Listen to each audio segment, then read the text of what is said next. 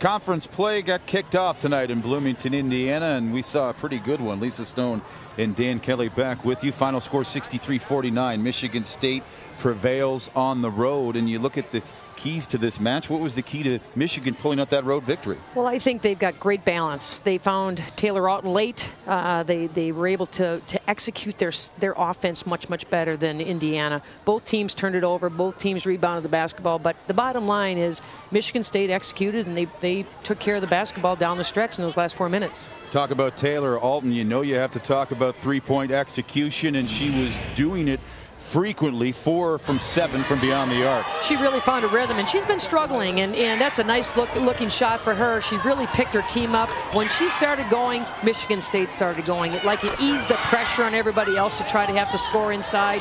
You know, Jasmine Hines was struggling, getting blocked, her shot blocked, and Taylor Alton really opened it up from outside.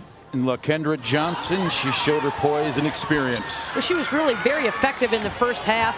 I know Coach Merchant was a little upset with her seven turnovers, but she is Lykendra Johnson. She has a reputation of being a very powerful player, great rebounder, presence in the Big Ten, and, and somebody that they really need to count on.